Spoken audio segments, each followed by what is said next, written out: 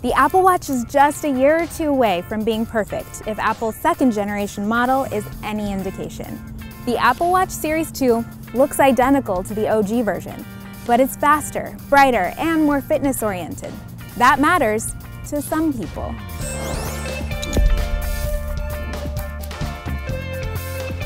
Even running watchOS 3, my original Apple Watch loads apps much more slowly than the Series 2.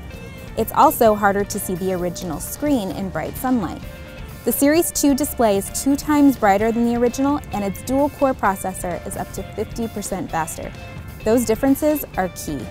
I run several miles a week, usually with my phone in tow. Now that I've upgraded to the gigantic iPhone 7 Plus, I'd rather leave my phone at home. The GPS-equipped Series 2 makes that possible. It accurately tracks my mileage, splits, and route in the built-in workout app or in a third-party app. With onboard music storage, I can save Apple Music playlists on my watch and listen to them with a pair of Bluetooth earphones. It's the perfect workout companion.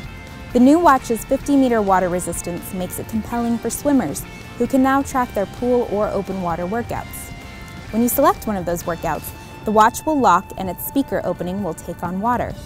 When you're done, rotating the digital crown unlocks the watch so you can end your workout and the watch then uses sound vibrations to force the water back out. It's incredibly cool. I wore the original Apple Watch almost every day, but it definitely needed some improvements. Some of those tweaks arrived with watchOS 3, which brought activity sharing, new messaging features, and an easily accessible dock so your most used apps would launch more quickly. The Apple Watch Series 2 is the perfect complement to those software improvements. But there's another new Apple Watch, the Series 1, which is just as fast and bright as the Series 2, but costs $100 less.